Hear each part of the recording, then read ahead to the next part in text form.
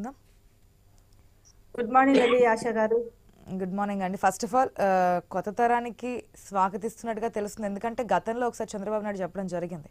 సీట్లు కూడా సీనియారిటీ ప్రకారం కాకుండా ఎక్కువగా యూత్కి కేటాయింపులు ఈసారి ఎక్కువ ప్రాధాన్యత ఇస్తాము. కొత్త తరం రావాలి అని చెప్పి గతంలోనే అంటే సీట్ల కేటాయింపు విషయాల్లోనే చెప్పినటువంటి సందర్భం మనం చూస్తున్నాం. ఇప్పుడు మినిస్ట్రీస్లో కూడా మనకు కనిపిస్తుంది కొత్త తరాన్ని ఆహ్వానించడం కానీ లేదంటే బాధ్యతలు కూడా అప్పగించడం. రాష్ట్రం ఏ విధంగా ఉందో మీరు గత ప్రభుత్వం పాలనప్పుడు మీరు చాలా కామెంట్స్ చేస్తున్నారు. ఇప్పుడు పోలవరం పూర్తి చేయాలి అది నీటిపారుదల శాఖ రోడ్లకు సంబంధించి అదేవిధంగా ఇండస్ట్రియల్ తీసుకురావడం విషయంలో రాష్ట్ర అభివృద్ధికి సంబంధించి సంక్షేమానికి సంబంధించి చాలా భారం మీ పైన ఉందనేది మీకు కూడా తెలిసినటువంటి మాట. మరి ఎంతవరకు సక్సెస్ఫుల్గా నడిపిస్తారనుకుంటున్నారు? ఎంత టైం పట్టే అవకాశం ఉందనుకుంటున్నారు? ఇది ఖచ్చితంగా ఆశా గారు ఈరోజు రాష్ట్ర పరిస్థితుల్ని దృష్టిలో పెట్టుకొని చంద్రబాబు నాయుడు గారు మొట్టమొదట ఒక ఐదు సంక్షేమ పథకాల పైన సంతకాలు చేయడం జరిగింది. మేఘా టీఎస్సీ కానీ అన్నా క్యాంటీన్ ల్యాండ్ టైట్ కానీ ఇంకా మిగతా రెండు కానీ ఇవన్నీ కూడా చేయడం జరిగింది. ఎందుకంటే దానివల్ల ఏం చేస్తున్నారంటే రాష్ట్ర ప్రజలంతా కూడా హర్షాన్ని వ్యక్తం చేసుకుంటూ చాలా సంతోషంగా ఉన్నారు. కాబట్టి ఈ రోజు యువ నాయకులకి టికెట్లు ఇవ్వడం కూడా జరిగింది. వాళ్ళందరూ కూడా హండ్రెడ్ పర్సెంట్ విజయాన్ని సాధించారు. ఎప్పుడైతే ఎమ్మెల్యేలుగా హండ్రెడ్ పర్సెంట్ విజయం సాధించారో అదే విధంగా మంత్రి పదవుల్లో కూడా వాళ్ళకి బాధ్యతలు ఇవ్వడం జరిగింది. ఉదాహరణకి ఇప్పుడు ఈ రోజు మా అన్నమయ్య జిల్లాలో చూసుకుంటే గనక మండిపల్లి రాంప్రసాద్ రెడ్డి గారు యువ నాయకుడు మొట్టమొదట ఎమ్మెల్యేగా కంటెస్ట్ చే మొట్టమొదటగా కాదని ఇంతకుముందు కంటెస్ట్ చేశాడు అతను. ఇప్పుడు టీడీపీలో కంటెస్ట్ చేసి పెద్ద మెజారిటీతో ఆయన కూడా అక్కడ ఉన్నటువంటి శ్రీకాంత్ రెడ్డిని ఎదుర్కొని గెలవడం జరిగింది. అదే విధంగా ఈ రోజు ఆయనకు కూడా మంత్రి పదవి ఇవ్వడం జరిగింది మండిపల్లి రాంప్రసాద్ రెడ్డికి. ఒక యువ నాయకుడు బాగా కష్టపడేటటువంటి వ్యక్తి. కాబట్టి చంద్రబాబు నాయుడు గారు ఈ రోజు మంత్రి వర్గంలో తీసుకున్నటువంటి వ్యక్తులందరూ కూడా చాలా చురుకైనటువంటి వాళ్ళు.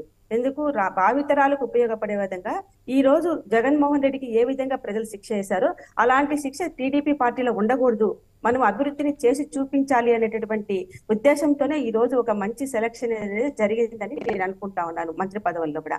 పవన్ కళ్యాణ్ గారు కానివ్వండి ఈ రోజు నారా లోకేష్ గారు కానివ్వండి అదే విధంగా నాదెండ్ల మనోహర్ గారు కానివ్వండి ఇలా చెప్పు అచ్చెం నాయుడు గారు వంగలపూడి అనిత మహిళలు ఏదైనా అనుకుంటే ఖచ్చితంగా సాధించగలరండి. గతంలో ఉన్నటువంటి ఇప్పుడు పెద్దలు చెప్పినట్టు ఇద్దరు మహిళా మినిస్టర్లు కూడా ఏ రోజు కూడా ఆ, ఒక దళితుల పైన అత్యాచారాలు జరిగినా దాడులు జరిగినా ఏ రోజు కూడా స్పందించినటువంటి పరిస్థితి. అంటే ఆ రోజు ఉన్నటువంటి ఆ దళితుల పైన దాడులు చేసినటువంటి వ్యక్తులు ఎవరు? అందరూ వైఎస్ఆర్ పార్టీకి సంబంధించిన వాళ్ళే కాబట్టి వాళ్ళు ఏమీ మాట్లాడలేని పరిస్థితి. అంటే మెయిన్ స్విచ్ జగన్మోహన్ రెడ్డి దగ్గర పెట్టుకున్నారు. కానీ ఇక్కడ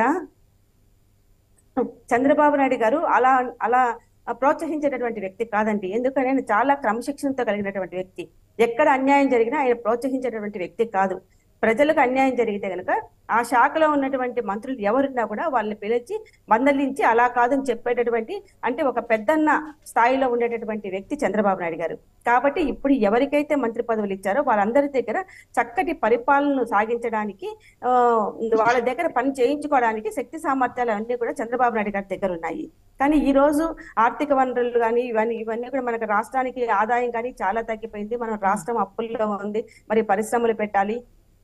అదే విధంగా పోలవరం ప్రాజెక్టు పూర్తి చేసి ముఖ్యంగా రాయలసీమ ప్రాంతానికి ఎంత కూడా నీళ్ళు ఇచ్చి ఇక్కడ రైతాంగాన్ని కూడా ఆదుకోవాలి అంటే వీటికన్నిటికీ కూడా మనకు ఫైనాన్షియల్గా చాలా లక్షల కోట్ల రూపాయలు మనకు అవసరం అవుతుందని చెప్పి మనం అనుకుంటున్నాం. కానీ నిజమేనండి ఈ రోజు రాష్ట్రాభివృద్ధి చంద్రబాబు నాయుడు గారికి ఎంత ఎంత ఈ రోజు ముఖ్యమో అంతకంటే ఎక్కువ బాధ్యతలు ఈ రోజు మోడీ గారి పైన కూడా ఉన్నాయండి. ఎందుకంటే ఈ రోజు రాష్ట్రం చాలా వెను- వెనుకబడింది. మనకు అమరావతిలో రాజధాని లేదు మనకు పరిశ్రమలు లేవు. ఈ విధంగా అన్ని అన్ని విధాలా మనం ఐదు సంవత్సరాలకు చాలా వెనుకబడిపోయినాం. చాలా ఇబ్బందులు పాలైపోయినాం. మనం విద్యార్థులు కానివ్వండి సరిగా ఉపాధి లేక పరిశ్రమలు లేక అన్ని ఎన్నో అష్ట కష్టాలు పడినటువంటి రాష్ట్రం మన రాష్ట్రం. కాబట్టి మోడీ గారి సహాయ సహకారాలు కూడా హండ్రెడ్ పర్సెంట్ ఉండి పెద్ద ఎత్తున మనకు నిధులు ఇచ్చి మన రాష్ట్రాన్ని ఆదుకోవడానికి మోడీ గారు కూడా ముందుంటారని చెప్పి నేను ఆశిస్తా ఉన్నాను. ఎందుకంటే చంద్రబాబు నాయుడు గారు ఒక్కరి మీద భారం వేసేటటువంటి పరిస్థితి కాదండి ఇది. ఆ పవన్ కళ్యాణ్ గారు కాదండి ఎందుకంటే పవన్ కళ్యాణ్ గారు కదా బీజేపీ కూడా? పవన్ కళ్యాణ్ అదేనండి, అందుకే ఎత్తేస్తున్నారు మోస్తున్నారు. కళ్యాణ్ ఏది ఇస్తే పవన్ ఏది అడిగితే అది ఇచ్చే విధంగా ఉన్నది కేంద్రం.